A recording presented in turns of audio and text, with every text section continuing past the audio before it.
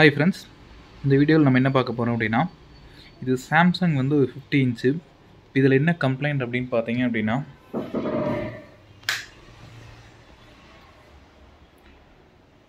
Image வந்து jump ஆகுது. அதுதான் இதனோட ப்ராப்ளம் ஆக்சுவல் ப்ராப்ளம் அதுதான்.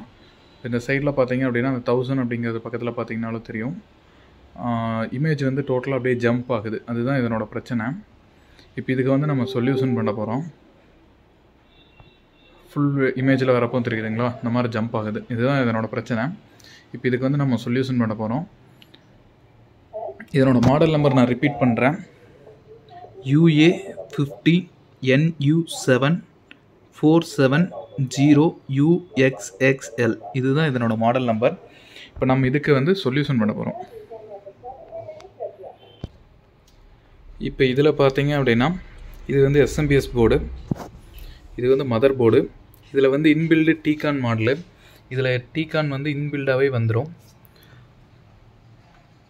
இப்போ இந்த ரெண்டு எஃப்எஃப்சி கேபிள் வழியாக தான் வந்து நம்ம ஸ்கேலர் போர்டுக்கு வந்து டைரெக்டாக கனெக்ட் ஆகிருக்கு இப்போ இந்த மாடலில் பார்த்தோம் அப்படின்னா நம்ம எந்த சைடு ஓப்பன் பண்ணி விட்டோம் அப்படின்னாலும் இப்போ இந்த சைடு ஓப்பன் பண்ணி விட்டோம்னாலும் அல்லது இந்த சைடு ஓப்பன் பண்ணி விட்டோம்னாலும் இமேஜ் வந்து என்ன ஆகும் அப்படின்னா டோட்டலாக வந்து எதுவுமே வந்து தெரியாது.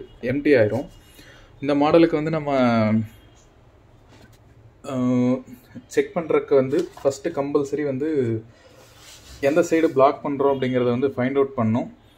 இது கொஞ்சம் லென்த் அதிகமாக இருக்கிறனால ஃபைண்ட் அவுட் பண்ணுறது கொஞ்சம் டிஃபிகல்ட் தான். பொறுமையாக தான் பண்ணி ஆகணும். இப்போ ஃபஸ்ட்டு நான் ஒரு சைடு மட்டும் கழட்டி விட்டுட்டு ஆன் பண்ணி காமிக்கிறேன். என்ன ஆகுது அப்படின்னு சொல்லி பாருங்கள் இப்போ இந்த சைடு கழட்டி விட்டாச்சு நம்ம கேபிளை. கழட்டி விட்டதுக்கப்புறம் நம்ம பவர் சப்ளை ஆன் பண்ணுறோம்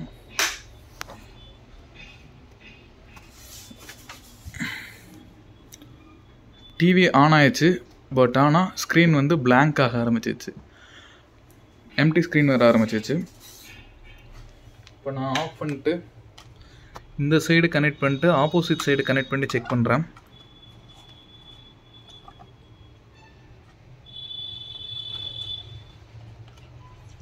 இப்போ ஆப்போசிட் சைடு கழட்டி விட்டாச்சு. ஆப்போசிட் சைடு கழட்டி விட்டுட்டும். டிவி ஆன் பண்ண அப்படின்னாலும் டிவி வந்து எம்டி ஸ்க்ரீன் வருது. இப்போ இதுக்கு வந்து நம்ம என்ன சொல்யூஷன் பண்ணுறோம் அப்படின்னா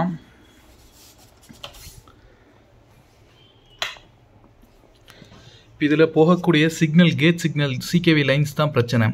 இப்போ இதில் வந்து சிகேவி லைன்ஸ் வந்து எந்த இடத்துல இருக்குது அப்படிங்கிறத வந்து மார்க் பாயிண்ட் கொடுத்துருக்கு. இந்த மார்க் பாயிண்ட்டை ஃபைண்ட் அவுட் பண்ணிட்டு நம்ம ஜஸ்ட் அந்த லைன் மட்டும் கட் பண்ணோம் அப்படின்னாவே போதுமானது. செட்டு வந்து ரெடி ஆயிரும். இப்போ இதுக்கு நான் வந்து சொல்யூஷன் பண்ணிட்டேன். இப்போ எந்த சைடு க இந்த சைடு வந்து ப்ராப்ளமாக இருந்துச்சு. நான் அதனால் இந்த சைடு போகக்கூடிய லைனை மட்டும் நான் வந்து அரெஸ்ட் பண்ணங்காட்டி இப்போ இந்த செட்டு வந்து ரெடி ஆயிடுச்சு. பட் இந்த சைடு போகக்கூடிய லைனை அரெஸ்ட் பண்ணோம் அப்படின்னாலும் டெம்பரவரியாக பிளாக் ஆகுது. ஆனால் வந்து மைல்டாக ஜம்ப் ஆக ஆரம்பிக்குது. அதனால் இந்த சைடு பிளாக் பண்ணிட்டு இந்த சைடு வந்து ஓப்பன் பண்ணி விட்டாச்சு. அப்படி ஓப்பன் பண்ணி விட்டதுனால வந்து பார்த்தீங்க அப்படின்னா இமேஜ் வந்து டோட்டலாக கிளியர் ஆக ஆரம்பிச்சிச்சு.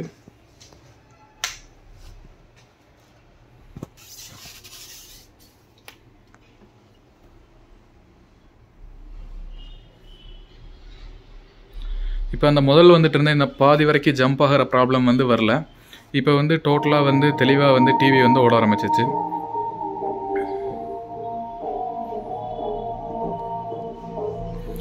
இந்த டிவியில் இருந்த ப்ராப்ளம் வந்து சக்ஸஸ்ஃபுல்லாக கம் ரெடிஃபை பண்ணியாச்சு. சப்ஸ்கிரைப் பண்ணுங்கள் சப்போர்ட் பண்ணுங்கள் இது போன்ற அப்டேட் வீடியோக்கள் வந்து உங்களுக்கு கண்டினியூவாக வரும். தேங்க்யூ